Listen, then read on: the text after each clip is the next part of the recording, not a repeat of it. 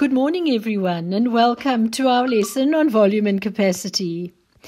Um, now, it's very important for us to know what the difference is between the volume and the capacity. So let's start with volume. Now, the volume is how much liquid is actually in the container right now, um, which there isn't any in this one, as you can see. The capacity is how much the actual container can hold all together. All right, let's just recap that. Volume is how much actual liquid is in the container. The capacity is how much a container can actually hold when it is full. Right, very important.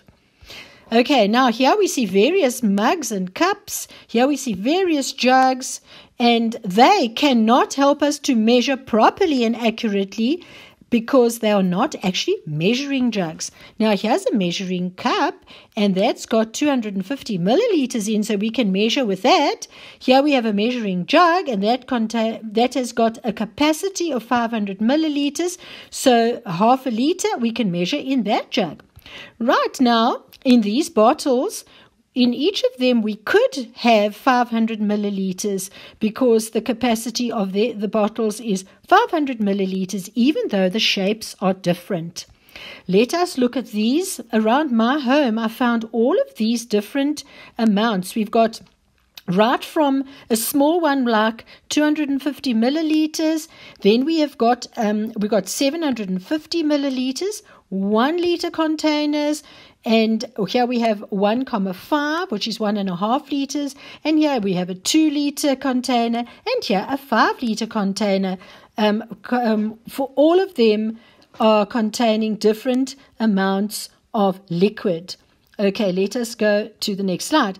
Right now, this is very important when we um, when we are doing volume and capacity. We have to know that in um, one in one liter there are 1000 milliliters. So in a half a liter there will be 500 milliliters. In a quarter of a liter there are 250 milliliters or one measuring cup. Very important. Please to remember that. Today you are going to be expected to work out how much liquid or volume of the liquid in the containers or how much um, a container can hold, which is its capacity. So you need to work out the the intervals. You know these tiny little intervals that we've got um, between the the small little um, the, the, little lines over here. We have to know how much is in each of those. So now, if in each, if two of them um, make a hundred, then remember, then only one little jump will then be 50 mils. So we must be able to work out the intervals, the little lines in between um, the numbers, so we can see how much um, altogether is contained. Like, for example, this one, we halfway. Can you see we halfway between 200 and 300? So that means 250 milliliters volume of water in this measuring jug. Now, I hope that you're going to have fun with your activities today.